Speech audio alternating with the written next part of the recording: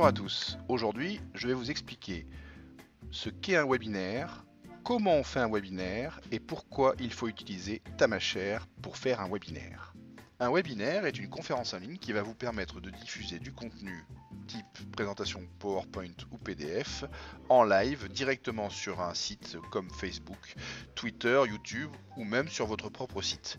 Il peut aussi être enregistré donc en différé pour être ensuite remonté et poussé même chose sur les différents réseaux sociaux. Le gros avantage de cette solution, c'est de pouvoir pousser l'engagement de vos spectateurs en les faisant interagir directement sur la page où se trouve diffusé ce live.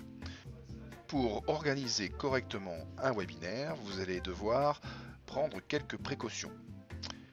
Tout d'abord, identifier les animateurs et les présentateurs, nommer des modérateurs pour gérer les questions qui seront posées pendant la session, préparer un minimum votre intervention et bien entendu, point de vigilance sur le timing car un webinaire trop long, c'est un webinaire où les gens s'ennuient.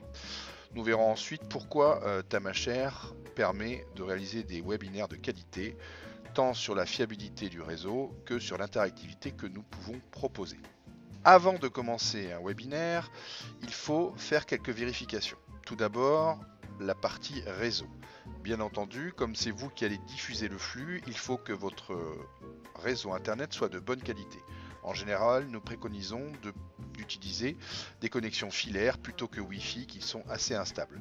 Voici quelques préconisations en termes de bande passante si vous êtes amené à utiliser Tamashare.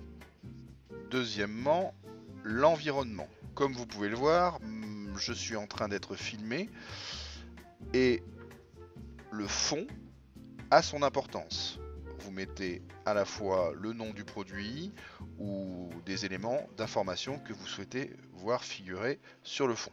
Faire en sorte qu'il n'y ait pas de brouhaha ni de passage intempestif. Au niveau du matériel, bien entendu, il vous faut un ordinateur, soit un PC, soit, soit un Mac, une souris, idéalement pour ta machère, un casque audio qui permet de diffuser de manière optimale votre, votre son ce qui est très important dans un webinaire.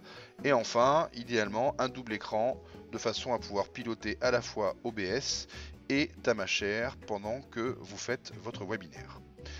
Il faut trois logiciels, plutôt deux, et ensuite un accès euh, sur un site web.